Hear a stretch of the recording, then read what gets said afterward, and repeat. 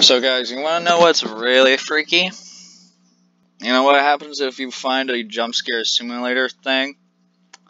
Well, this is made by Philipster134, and Five Nights at Freddy's is made by Scott Cawthon.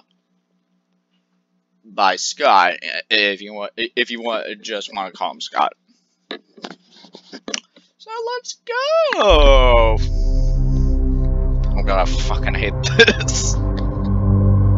Hey, it's Freddy. You know what happens when you get scared by Freddy? Jesus, that's rape. So I'm gonna start off with Five Nights at Freddy's. Oh, Five Nights at Freddy's 1, even though I do have the game. Ow! My bloody ears. Oh, shit. Hey, hi, Bonnie. Ow! My ear. Damn. Hey, uh, hey, Chica. How you doing?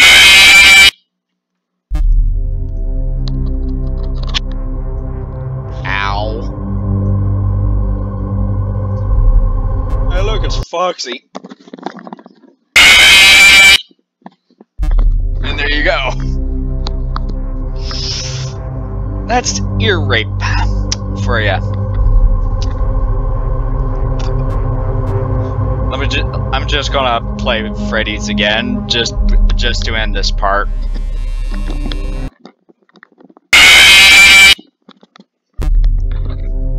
Anyways, thank you all for watching, I guess. Wait, what's this?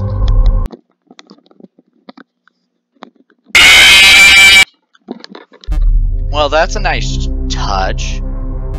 What does he do? Wait, what happened there? Golden Freddy. Okay then. Anyways, thank you all for watching. Laters, everybody.